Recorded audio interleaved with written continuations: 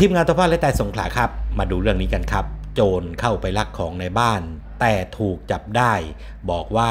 แค่เข้าไปขี้ขออภัยที่พูดตรงๆนะครับ จะบอกว่าเข้าไปอุจจาระ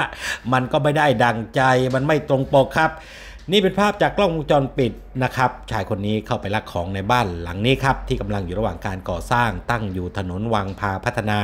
หมู่หนึ่งตำบลควลังอำเภอหาดใหญ่จังหวัดสงขลานะครับ ตอนเข้าไปนะ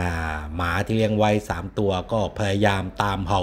เวียนรึนอยู่ครับ แล้วก็ตามจี้ติดตลอดครับ ตอนออกจากบ้าน แต่ว่ามันก็ไม่ได้สนใจอะไรครับ แต่ว่าครับแม่หมาจะทำอะไรไม่ได้ครับ แต่กล้องวงจรปิดทำได้ครับ พอโจรเข้าบ้านนี่มันก็ดังพยังมือถือของเจ้าของบ้านพอขับรถเครื่องมาดูก็เจอหน้ากันซึ่งซึ่งหน้าเลยครับจ้าเอกบโจรเลย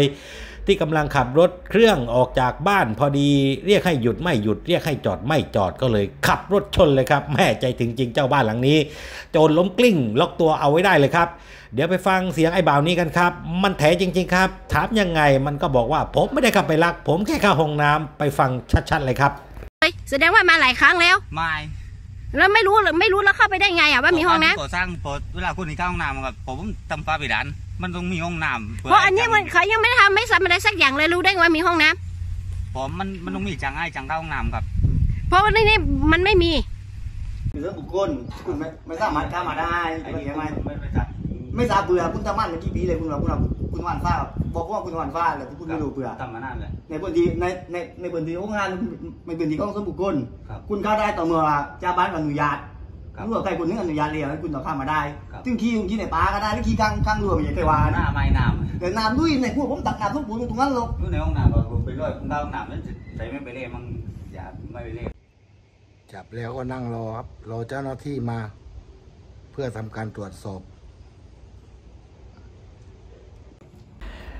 หลังจากที่เจ้าของบ้านได้แจ้งให้ตำรวจสายตรวจคนลังสพหัดใหญ่ไปรับตัวนะครับ ก็ยังบอกว่าผมแค่เข้าห้องน้ำจริง ๆ ครับ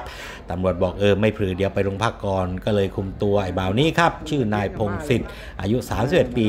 เดิมนี่เป็นคนตำบลหานเทาอำเภอปากพยูนจังหวัดพัทลุงครับ ตรวจสอบประวัติเพราะว่าเคยถูกจับดำเนินคดีในคดี ครอบครองยาเสพติดเมื่อปี 60 นะครับ ทีแรกเจ้าของบ้านก็ เออเอาไม่เอาเรื่องก็ได้นะครับเห็นดูก็เห็นดูในบ้านยังไม่ทันเอาอะไรไปทีตำรวจก็เลยแค่ลงประวัติลงบันทึกไว้เป็นหลักฐานนะครับ ว่าทีหลังอย่าทำแบบนี้อีก แต่ว่าพอตรวจวงจรปิดในบ้านตรวจของในบ้านดูครับ เจ้าของบ้านบอก โอ้หนักกว่าที่คิดเลยครับ ปล่อยไปได้พือครับ เพราะว่ามันมายกมันมาถอดมันมาเอาไปกองไว้ในบ้านนะครับ หลายแห่งเลยครับหลายตัวหลายสิ่งเลย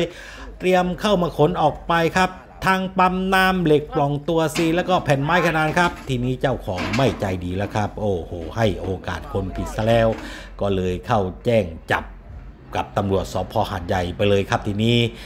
แม่มุกนี้น่าจะใช้บ่อยนะครับ พอถูกจับได้ค่านางค่าเขานี่บอกแค่ผม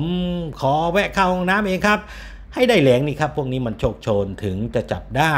อย่างแถอย่างไถไปเรื่อยจริง ๆ ครับ พูดมาได้ไง เข้าไปขี้ ไม่เชื่อเข้าไปแลตะซึ่งขี้คุณขี้ในป่าก็ได้หรือขี้ข้างข้างรั้วไม่ใช่เคยว่าหน้านะไม่น้แต่น้ำด้วยในพวกผมตักน้ำทุกปูนตรงนั้นหรอกำอยู่ในห้องน้ำผมไปด้วยผมเข้าห้องน้ำแล้วใส่ไม่ไปเล่มันอย่าไม่ไปเล่